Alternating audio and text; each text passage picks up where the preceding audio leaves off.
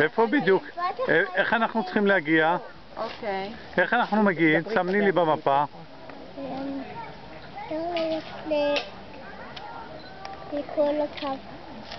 ללכת שימי על הרצפה ותסתכלי.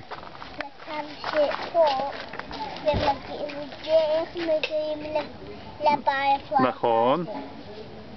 הולכים ל- לפה, אחרי זה לפה, זה מגיעים לבלפיים הזה.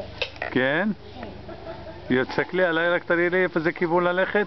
באצבע, תצביעי. רגע, אני אגיד לך איפה. כן.